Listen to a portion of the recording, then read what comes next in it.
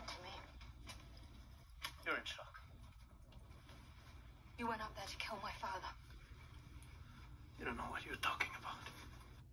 Deny it. You're in shock. I'm looking for some place to put it. I've seen it before. I bet you have. They know. You lied about why we came here, and you lied about why you went up alone.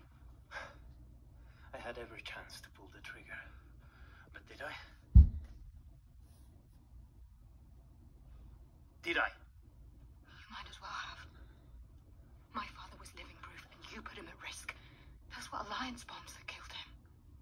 I had orders. Orders that I disobeyed. But you wouldn't understand that. Orders? When you know they're wrong? You might as well be a stormtrooper. What do you know? We don't all have the luxury of deciding when and where we want to care about something. Suddenly the rebellion is real for you. Some of us live it. I've been in this fight since I was six years old. You're not the only one who lost everything.